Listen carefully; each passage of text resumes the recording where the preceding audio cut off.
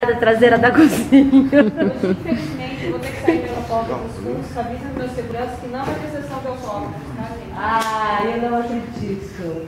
Isso nos traz muito. Gente, vamos passar o texto de novo, porque estava manhaca, sem ritmo, nós erramos. Vamos novamente, tá? Agora com gás. Inteiro. Ah, esqueci! Ela que, ela que errou.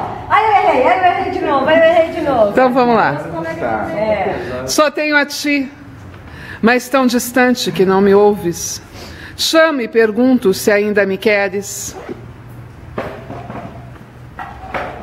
Só tenho a ti, mas tão distante que não me ouves.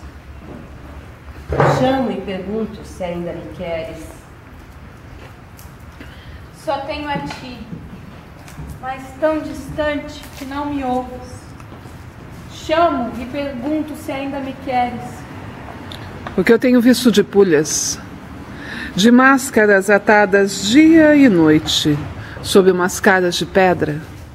O que eu tenho visto de mesquinharia, de torpeza, de crueldade, de estupidez.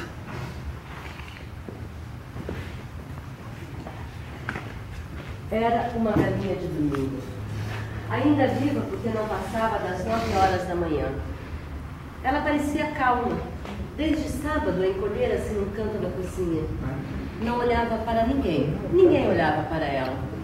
Mesmo quando a escolheram apalpando sua intimidade com indiferença, não souberam dizer se era gorda ou magra. Nunca se adivinharia nela um anseio. Quem és? Quem és? Quem és? Perguntei ao desejo.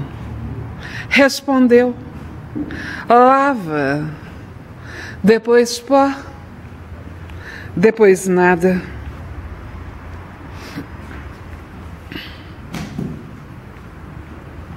Depois nada. E talvez só um pensamento me salvasse. Tenho medo da paixão. Mas o amor é muito mais cruel.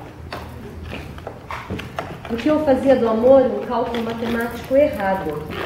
Pensava que somando as compreensões, amava. Não sabia que somando as incompreensões é que se ama verdadeiramente.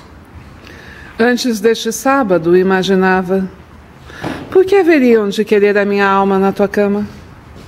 Quando a pegaram, disse palavras líquidas, deleitosas, ásperas, obscenas, porque era assim que gostava. Embriagada, interdita, ama-me. Sou menos quando sou líquida.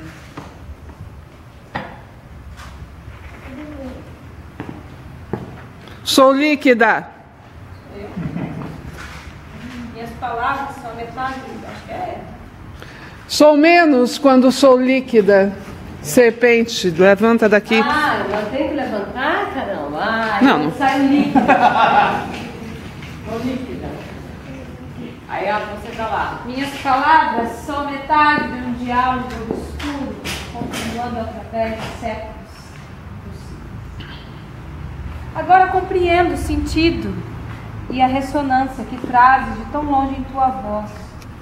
Nossas perguntas e respostas se reconhecem como os olhos dentro dos espelhos. Olhos que choraram. Conversávamos os dois extremos da noite como de praias opostas. Mas com uma voz, uma voz que não se importa. E um mar de estrelas se balança entre meu pensamento e o teu.